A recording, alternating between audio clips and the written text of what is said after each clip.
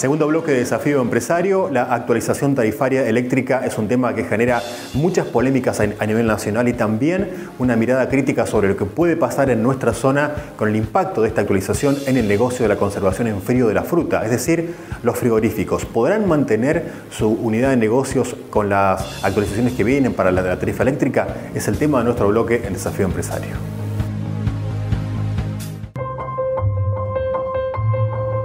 En agosto del año pasado eh, se fijó la resolución 175, la cual eh, varios sectores, varias entidades, eh, en la cual me tocó participar a mí, presentamos recursos de reconsideración a la resolución para que se tengan en cuenta varios factores que tienen que ver con el aumento de la distribución energética.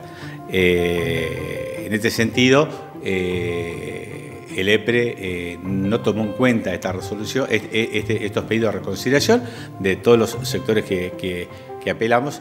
Y bueno, eh, dictó una resolución eh, fijando los valores de la distribución eléctrica y bueno, en este sentido hemos presentado recientemente un recurso administrativo de apelación a la resolución del EPRE donde el gobernador debe contestar. El punto fundamental en esto es que más allá del aumento que ha tenido en los últimos meses eh, fuertemente de la energía a nivel nacional, lo que determina el Ministerio de Energía a través de Camesa, que es lo que viene eh, a, la, boleta, eh, ha tenido un aumento importante a través de la distribución del 120%, que eso lo que preocupa aquí en la región, que la verdad afecta fuertemente son los frigoríficos, son los empaque y sobre todo uso de río agrícola, eh, alrededor del 47% de lo que paga eh, el consumidor, ya sea gran consumidor o consumidor común de la ciudadanía como uso domiciliario,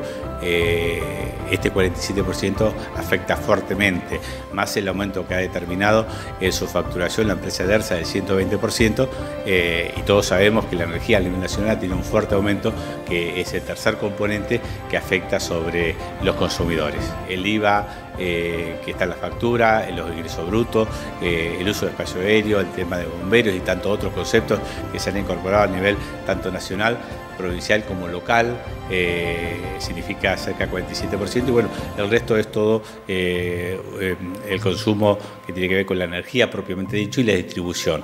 Eh, todos los aspectos afectan fuertemente. No cabe ninguna duda que si hoy existiría impuesto cero, tenemos un 47% menos, pero también tenemos la distribución, que es una gran lucha de los productores y los sectores que estamos interviniendo en esto, de que las inversiones la empresa DERSA no la ha hecho, las tanto que anuncian y que plantean que van a tener en cuenta en los cuadros de inversiones no, se han hecho ni anteriormente ni tan planteado en, términos reales de hacerse ahora. Por lo tanto, eh, eh, la gran, eh, digamos, eh, las grandes ganancias que tiene esta empresa, eh, la verdad que no, no, podemos aceptarla porque lo que intentamos de alguna manera es que el gobierno intervenga para evitar eh, que el consumidor pague tanto y la empresa se lleve grandes ganancias. Hoy en día que se está hablando, se está hablando mucho sobre la tecnificación, que es riego por aspersión, riego por goteo y tantas otras cuestiones que tienen que ver con la con la actividad primaria frutícola, eh, tenemos eh, este alto costo, este alto eh, facturación, digamos, sobre la, energía que afecta al productor en forma directa. Pero luego está lo que afecta en forma indirecta, lo que es en los productores asociados o que están de alguna manera integrados, tiene que ver mucho el tema de los galpones empaque, los frigoríficos pero también los que son independientes, que guardan fruta en frío para de alguna manera eh, poder eh, tener una posibilidad de compensar eh, los bajos precios de la exportación, guardando manzana en frío. hoy sabemos que para el mes de noviembre no cabe ninguna duda que el valor de, de la energía de guardar en frío, el costo de guardar en frío va a significar alrededor de 5 pesos para fin de año por kilo de fruta, cuando no sabemos si la fruta va a poder tener ese precio. Entonces es inmanejable en este sentido. Nosotros sabemos que con la lucha y con, los planteos que estamos haciendo, eh, de alguna manera podemos llegar a frenar esta cuestión. Por supuesto que, muchas veces uno piensa esto es una utopía, porque en verdad eh, todo el país eh, y la provincia inclusive es como que tienen claro que quieren seguir adelante con esto. Hoy en día en el Congreso se está discutiendo este tema de, las tarifas, eh, porque entendamos que no solamente la energía eléctrica, hay muchos insumos que tienen que ver con procesamiento, de donde lleva el gas, eh, tampoco se pueden llegar a soportar las altas tarifas. Entonces, eh, seguramente la lucha es lo que va a determinar de alguna manera frenar un poco todo esto.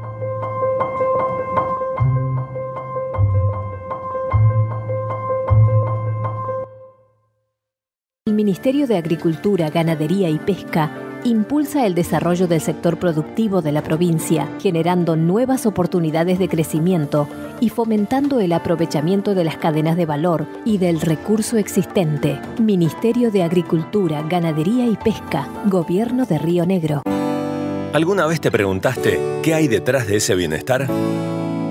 ¿Qué hay detrás de esa tranquilidad? ¿Qué hay detrás de la sonrisa de Mariana?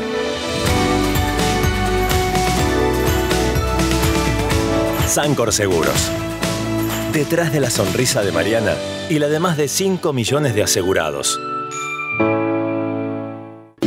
Petos lomo de pollo, de cerdo, petos chimi, petos light, vegetal, de mila, petos dúo, petos mex. ¿Con cuál te quedas? También cajita infantil con regalo sorpresa. Delivery al 443-2720. Ricardo se está haciendo la casa en el barrio Santa Genoveva. El sábado lo llevó en el auto a Rubén, su albañil, hasta su casa en el barrio Alto Godoy en el oeste. Ahí se encontró con una sorpresa. ¿Y esta obra? Le preguntó a Rubén. El albañil, sin ocultar su orgullo, le respondió, y la Muni se va a mudar acá, al barrio. Ahora vamos a poder hacer los trámites más rápido, porque está mucho más cerca de nosotros. Las obras cambian la ciudad y a vos te cambia la vida.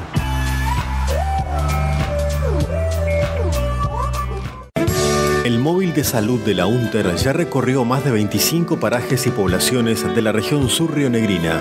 Compone nuestro equipo un médico clínico, un técnico óptico y una enfermera. Se realiza atención primaria, prevención e investigación sobre aspectos que influyen en la salud de los trabajadores y trabajadoras y estudiantes, desarrollando acciones de prevención, asistencia y rehabilitación a la comunidad educativa en general.